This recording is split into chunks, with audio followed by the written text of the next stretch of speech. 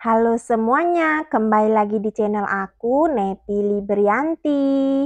Di video kali ini aku akan berbagi tips bagaimana cara menghilangkan keriput pada kulit kita, pada kulit wajah atau tangan atau kaki. Dan juga membuat hmm, kulit kita menjadi putih, glowing, dan bercahaya. Simak videonya sampai selesai ya.